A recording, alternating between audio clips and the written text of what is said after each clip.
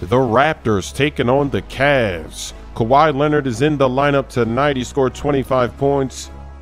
But the rookie Collin Sexton, he scored 28 points. And this game was a shocker. The Cavs came to play tonight.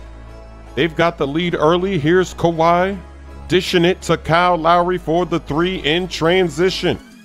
Still in the first quarter, shot clock cheese Jeremy Lin to get it a little bit closer, but in the second quarter, it's Brandon Knight with the crossover and the floater. He actually did that again in the next couple of possessions. Lowry pops another three. He's been shooting great after the All Star break. Look at that touchdown pass from Gasol to Siakam for the slam.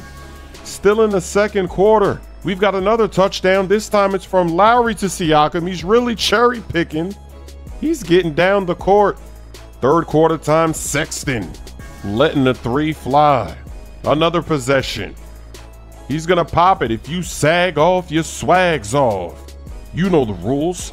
Still a nice lead for the Cavs. Sexton backs it up, reverses it, finds Kevin Love, who knocks down the three. And then to end the third quarter, we've got some drama. Serge Ibaka goes at Chriss, chokes him, throws punches, doesn't connect. But both of these players are going to get ejected from the game. Look at the scoreboard 91 to 77. The Cavs came to play tonight. The signature touchdown right on the money pass from Kevin Love. Wow. The Cavs are going to take down the Raptors tonight with Kawhi in the lineup. What do you think about that?